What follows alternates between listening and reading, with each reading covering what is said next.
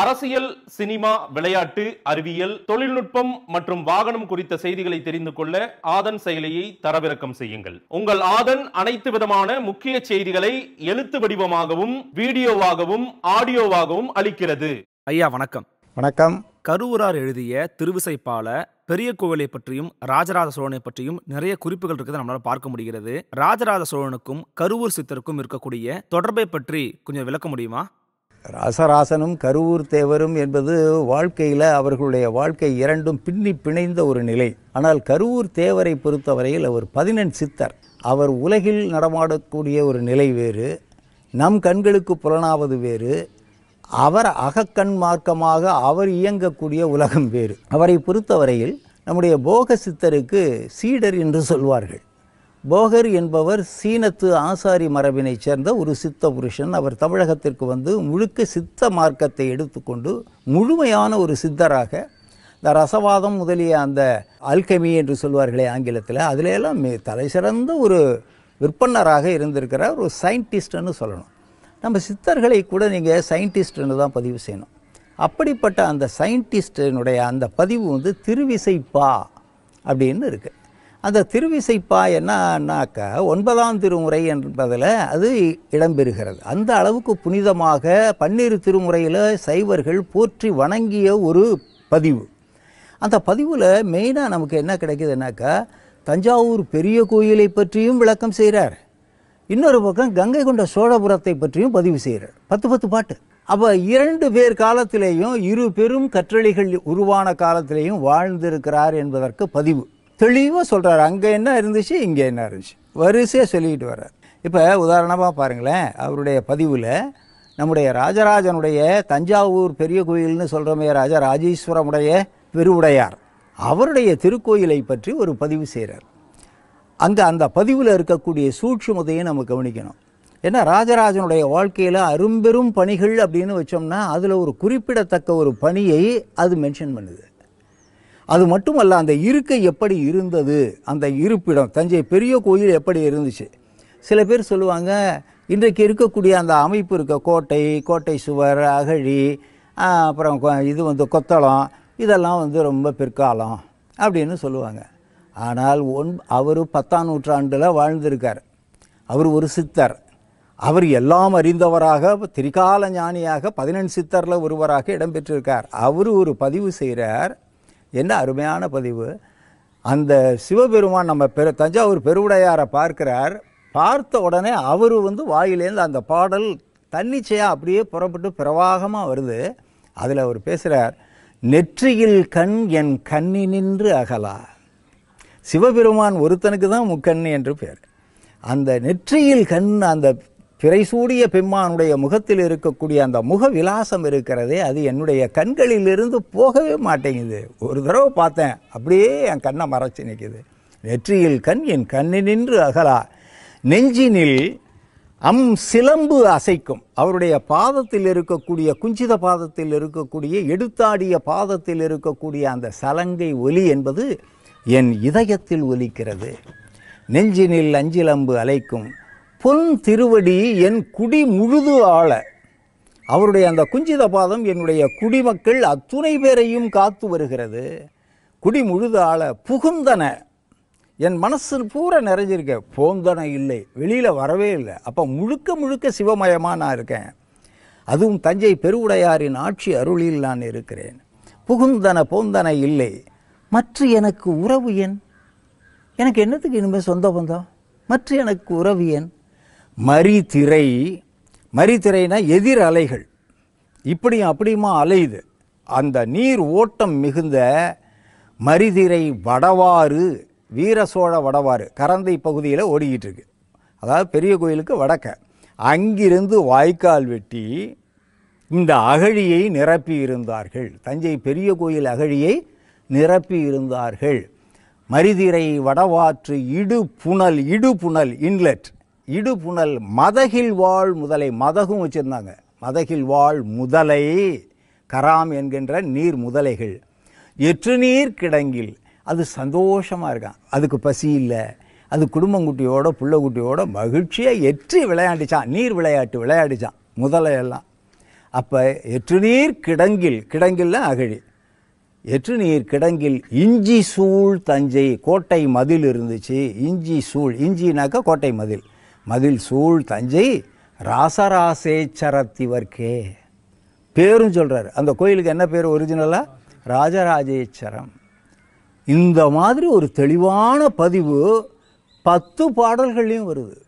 அதில் ரொம்ப குறிப்பாக சொல்லணும்னாக்கா விலங்கல் செய்ய மின்னெடும் புருவத்து இளமயில் அணையார் விலங்கல் செய் நாடக சாலை இஞ்சி சூழ் தஞ்சை ராசராசேச்சரத்திவர்க்கேன்னு சொல்கிறார் நானூற்றி இருபது தளிச்சேரி பெண்டுகள் அழகான பெண்களை சோழ நாட்டு முழுவதிலிருந்தும் தருவித்து எம்பெருமானுக்கு பணிவிடையாக சோடச உபசாரத்தில் நாட்டியக் கலையை ஒன்றாக உயர்ந்த அங்கீகாரம் கொடுத்தவன் ராஜராஜன் இல்லையா? அந்த குறிப்பினை மின்னெடும் புருவத்து எவ்வளோ அழகான லேடிஸ் தான் அது ஷார்ப் ஐப்ரோஸாக மின்னெடும் அது மின்னல் மாதிரி இருக்கான் மின்னெடும் ஏன்னா அப்படி நெரிச்சு பார்க்குறாங்களா? மின்னெடும் புருவத்து இளமயில் அணையார். இளமையான மயில்னு சொல்கிறார் ஏன்னா எல்லா பெண்களும் இளமையானவங்க. இளமயில் அணையார் விலங்கல் செய் நாடகசாலை அந்த நாடகசாலை முழுக்க நிரம்பி டான்ஸ் பண்ணுறாங்களாம் விலங்கல் செய் நாடகசாலை இஞ்சி சூழ் தஞ்சை. ராசராசை சரத்தி இவர். இதுக்கு மேலே எப்படி தான் டெஸ்கிரிப்ஷன் சொல்லுவோம்? அப்போ ராஜராஜனுடைய வாழ்க்கையும் இவருடைய வாழ்க்கையும் ஒன்றுக்கு ஒன்று சரியான புரிதலோடு ஒன்றை ஒன்று பதிவு செய்வதாக இருக்கு. இதுதான் அகச்சான்றுன்னு நம்ம பார்க்குறோம். கல்வெட்டுக்களிலே கருவூர் தேவர் என்ற ஒரு குறிப்பு நமக்கு கிடைக்கல. அதுக்காக இல்லைன்னு மறக்க முடியாது. அல்லது மறுக்க முடியாது. ஏன் அப்படின்னா மரபு வழியாக வந்து கொண்டு இருக்கிறது இந்த செய்தி. அது மட்டும் இல்லை சிவகங்கை குளம்னு பக்கத்தாப்பில் இருக்குது அந்த குளத்தில் இருக்கக்கூடிய சிவயோகநாத சுவாமிக்கு பொன்மணி தட்டார் என்ற ஒரு தட்டார் வகுப்பை சார்ந்த ஒரு கதையை வந்து பின்னி பிணைந்து சொல்வார்கள். அந்த பின்னி பிணைந்த அந்த கதை தட்டார் வகுப்பை சார்ந்த ஒரு பக்தன் என்று சொல்லுகிறார்கள் சித்தன் என்று சொல்லுகிறார்கள். அவர் தன்னுடைய நெஞ்ச பிளந்து சிவன் இருப்பதை காட்டினாராம். அந்த அளவுக்கு ஆற்றல் தவ வலிமை உள்ளவர் யாருனாக்கா தட்டார் வகுப்பை சார்ந்த ஏன்னா விஸ்வகர்மா வகுப்பை சார்ந்த நம்முடைய கருவூர் தேவர் என்பது அந்த காலம் முதலாக வழக்காற்று செய்தியாக பதிவு பெற்றிருக்கு. அவ்வளவுதான் சொல்லலாம். அதை வந்து ஏற்பதா மறுப்பதா தள்ளுவதா அல்லது கொள்ளுவதா என்பதெல்லாம் வியூயர்ஸினுடைய விருப்பம். ஆனால் இருக்கிற பதிவு அதுதான். அந்த அடிப்படையில் ராசராசனும் ராசேந்திர சோழனும் கருவூர் தேவருடைய வாழ்க்கையோடு அவருடைய ஏதோ ஒரு சில உதவிகளையும் பெற்றுக்கொண்டு வாழ்ந்திருக்கிறார்கள். இந்த ஒரு நிலையில் ராசராசனுக்கு அவருடைய உதவி என்பது முழுக்க முழுக்க அமைந்திருக்கிறது. ஏன்னா ராசராசனுடைய வாழ்க்கை என்பது தொள்ளாயிரத்தி எழுபதுக்கு பிறகு ஒரு பதினைந்து ஆண்டு காலம் சற்று தயக்கம் கொள்ள வேண்டிய அல்லது தெளிவான குறிப்புகள் இல்லாத ஒரு வரலாறாக பதிவாகியிருக்கு. எண்பத்தி ஐந்தில் ஜூலை மாதம் பதினெட்டாம் தேதி அவர் ஆட்சிக்கு வருகிறார். அந்த வரலாற்றை ஒட்டி நமக்கு கிடைக்கக்கூடிய தகவல்களில் கருவூர் தேவர் ராஜராஜனுடைய வாழ்வியலுக்கு அடைக்கலமாக வாழ்ந்திருக்கிறார். அவருடைய அரவணைப்பில்தான் ராஜராஜனுடைய இளமையில் வாலிப வயதில் ஒரு சில கணிசமான பகுதி பாதுகாக்கப்பட்டு தரப்பட்டிருக்கிறது. ஏனென்றால் அதற்கு சற்று முன்னாகத்தான் ராஜராஜனுடைய அண்ணன் ஆதித்த கரிகாலன் கொலை செய்யப்பட்டிருக்கிறான். அது அரசியல் சூழ்ச்சியாக இருக்கலாமோ என்று கருதுகிறார்கள் அறிஞர்கள். அந்த பின்னணியில் ஒரு சித்த புருஷனாக ஒரு சித்தராக இருந்த காரணத்தினால் இவர்கிட்ட இருக்கக்கூடிய தவ வலிமையும் சேர்ந்து இவனுக்கு ஒரு சரியான பாதுகாப்பாக வெறும் அரசு அதிகாரிகள் அல்லது வந்து உறவினர்கள் மட்டும் பாதுகாப்பாக இருப்பதோடு ஒரு தவ வலிமை மிக்க அதுவும் போக சித்தர் போன்றவர்களோடு தொடர்புடைய கருவூர் சித்தருடைய ஆதரவு என்பது அவருக்கு ஒரு பின்னணி இருந்திருக்கணும்ல. அப்போ அவருக்கு ஒரு ஃபாலோயர்ஸ் கூட்டம் இருக்கும் கருவூர் தேவருக்கு. அந்த அரவணைப்பு முழுக்க ராசராசனுக்கும் கிட்டியிருக்கிறது அவன் மகன் ராஜேந்திரனுக்கும் கிட்டியிருக்கு. அதனால்தான் அவர்கள் அந்த தவ வலிமை மிக்கவர்களுடைய உறுதுணையோடு பெரிய ஆற்றலோடு அவர் என்ன செய்திருக்கிறான்னா இரு பெரும் கற்றளிகளை தகப்பனும் மகனுமாய் எழுப்பியிருக்கிறாங்க.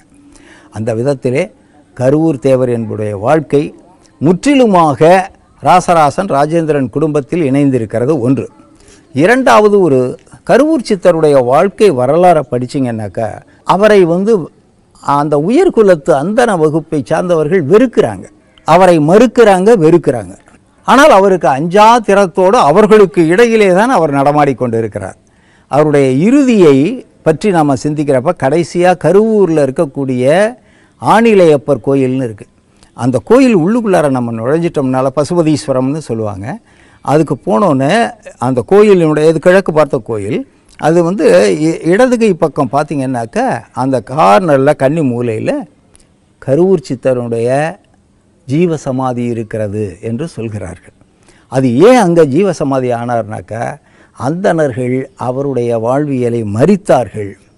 அவர் வெளியேற முடியாமல் அங்கேயே தங்கி ஆணிலையப்பருடைய அருளோடு அங்கேயே ஜீவசமாதி அடைந்தார் என்பதாக அவருடைய வரலாறு பதிவு செய்து. அது எந்த அளவிற்கு நம்பத்தகுந்தது என்பது ஒரு புறம் இருக்க. அது ஒரு வழக்காற்று பதிவு என்பதையும் மறுக்க முடியல. அப்போ வந்து ஒரே ஒரு கான்செப்ட் மட்டும் நமக்கு அதில் கிடைக்குது.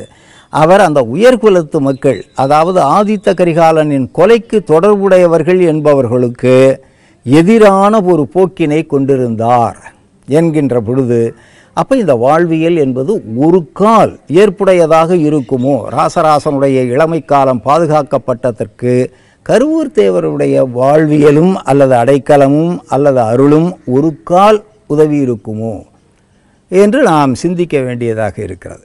கிடைக்கின்ற சான்றுகள் இவ்வளவுதான்.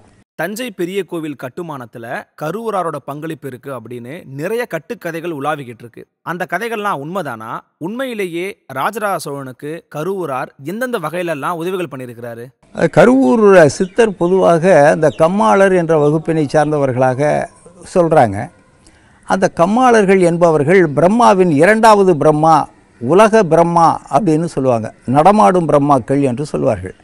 அவர்கள் தான் மக்களுக்கு வேண்டிய இருக்கை இருப்பிடங்கள் இருக்கைகள் ஆசனங்கள். சேரு பெஞ்சு கட்டில் மெத்தை இது செய்து தர்றது.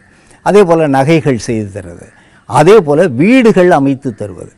அப்போ தொழில்நுட்பம் அறிவு மிகுந்தவர்களாக அவர்கள் இருந்திருக்கிறார்கள். அதில் சித்த புருஷனாகவும் இருந்த காரணத்தினால கருவூர் தேவருடைய பங்களிப்பு என்பது கிட்டத்தட்ட ஒரு ஆர்கிடெக்ட் ஒரு ராயல் ஆர்கிடெக்ட் போல இருந்து இருந்தது என்பதற்கு ஒரு சான்றாக நம்ம எதை கொள்ள முடியுதுனாக்க இன்றைக்கி தஞ்சை பெரிய கோயிலில் அந்த பெரிய கோயில் விமானத்தினுடைய பின்பகுதியில் இருக்கக்கூடிய கருவூர் சித்தருடைய அந்த இருக்கை இருக்க அது சமாதி மேடை என்று சொல்வார்கள். சமாதி கூடுவதுனாக்கா அங்கேயே அவர் இறந்து போல. சமாதி நிலை என்றால் தவத்தில் அவர் அந்த உச்ச நிலையை அடைந்து தியானம் செய்த இடம். இது பேர் சமாதி கூடுதல் என்று பேர். அந்த இருக்கையில் அவருடைய உருவம் இன்றைக்கும் வழிபாடு செய்யப்படுது. அது கருவூர் சித்தர் சமாதி மேடை என்றே சொல்லுகிறார்கள். அப்போ அந்த இடத்தினுடைய அந்த இருக்கை இருக்குல்ல இருப்பிடம் லொக்கேஷன் அது கிட்டத்தட்ட ஒரு ஆர்கிடெக்ட் ஸ்டுடியோ இருக்க வேண்டிய இடமா இருக்குது ஒரு ஆர்கிடெக்ட் ஸ்டுடியோ எப்படி இருந்து ப்ளூ பிரிண்ட்டை வச்சுக்கிட்டு ஒவ்வொரு இன்ஸ்ட்ரக்ஷனும் கொடுத்து கட்டுறதுக்கு ஏற்பாடு பண்ணுவோம் கிட்டத்தட்ட அதே லொக்கேஷனாக இருக்குது அப்போ அந்த இருக்கையை பார்த்த பிறகு நமக்கு எது ஸ்ட்ரைக் ஆகுதுன்னாக்கா ஒரு கால் அங்கேயே அவர் இருந்து கொண்டு இந்த கட்டுமானம் முழுவதையும் வழிநடத்தி இருப்பாரோ என்பதற்கு எண்ணுவதற்கு இடம் இருக்கிறது. எண்ணுவதற்கு அது நம்பிக்கையாக முழுமையாக கொள்வதற்கு நீங்கள் தான் தெரிவு செய்யணும். அதே போல அஷ்டபந்தனம் நடந்த பொழுது அவரால் முடிந்தது என்று சிலர் சொல்லுகிறார்கள். சிலர் அவருடைய குருவை வரவழைத்து அவர் அதனை செய்து தந்தார் என்று சொல்லுகிறார்கள்.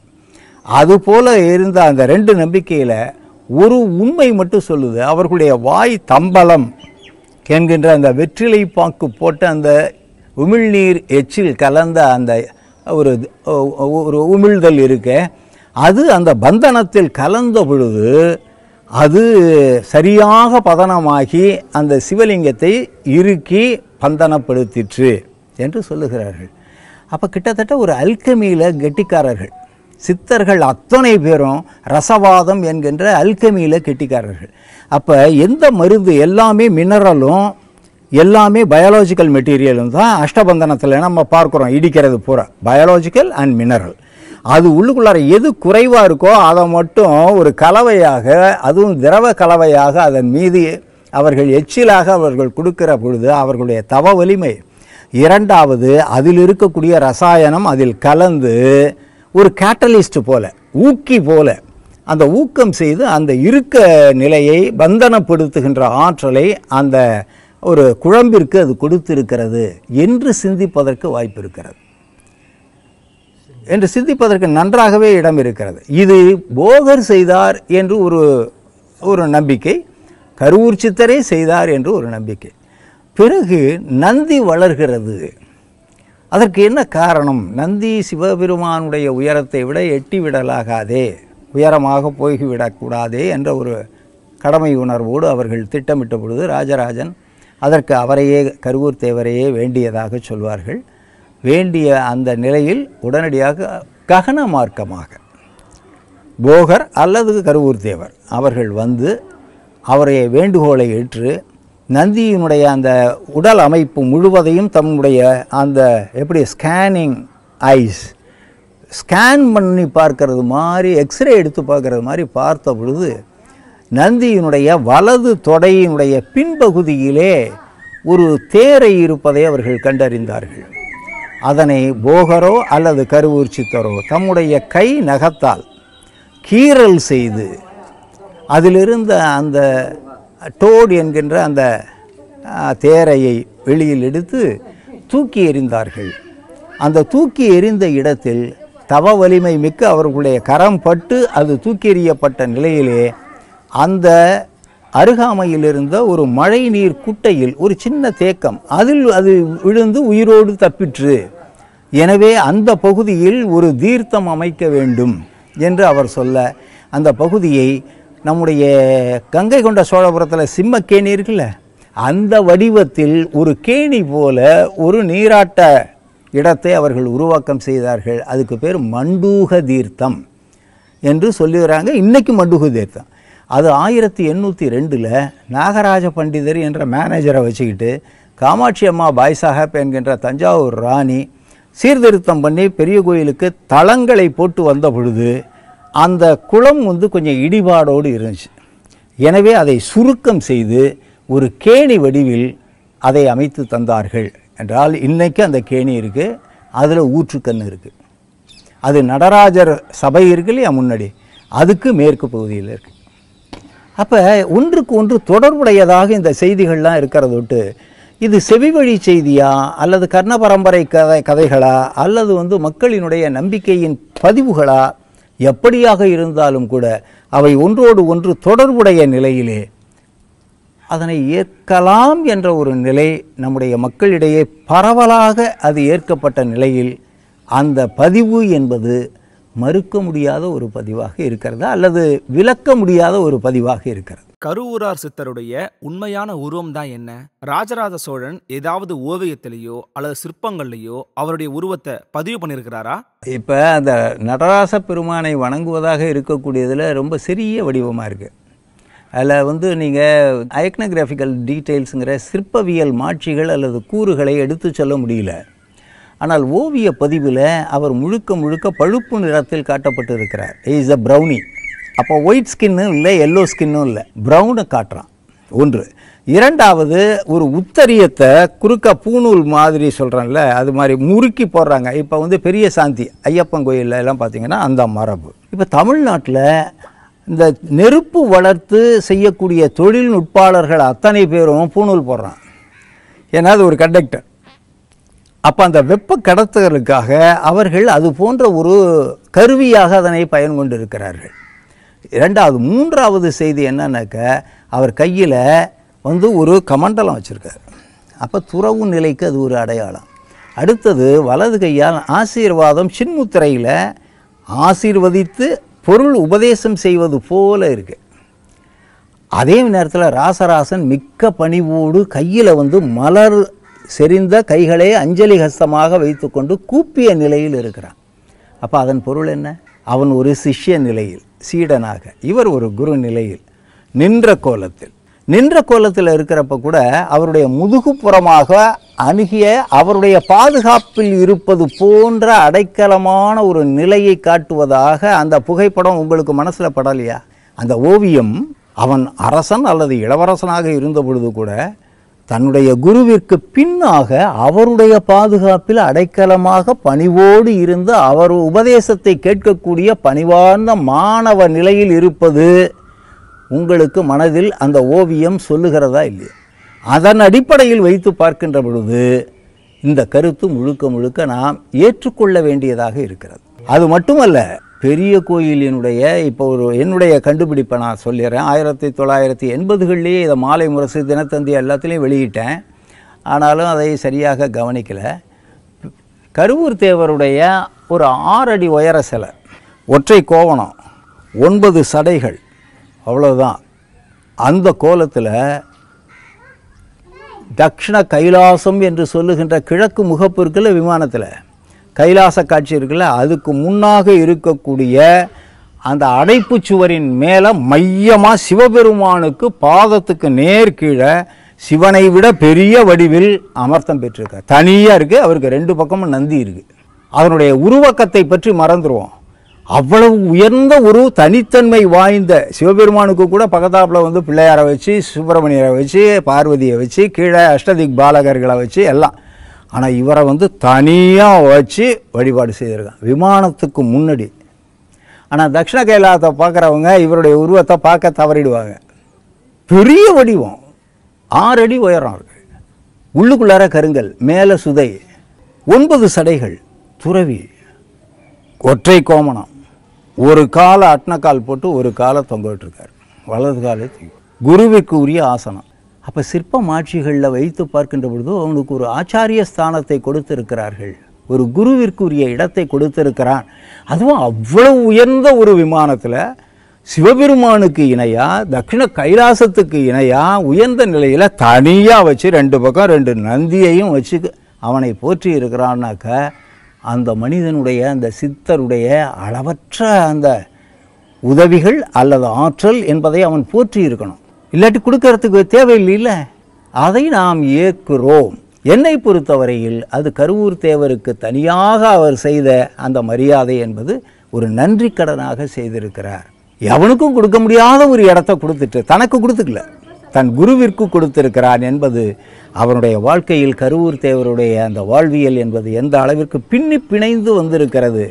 ஒரு புறம் ஆட்சித்திறம் இன்னொரு புறம் அருள் ஆட்சித்திறம் ரெண்டும் கலந்த நிலையிலே தான் ராஜராஜனுடைய வாழ்க்கையும் ராஜேந்திர சோழனுடைய வாழ்க்கையும் மிகப்பெரிய அளவில் சோழ பேரரசை உருவாக்கி தென்கிழக்கு ஆசிய நாடுகளையும் வெற்றி கொள்ளச் செய்து அதனையும் ஆட்சி செய்து மக்கள் நலப்பணிகளை செய்திருக்கிறார்கள் என்பதனை நாம் உணர வேண்டும். ரொம்ப நன்றி. மிக்க நன்றி.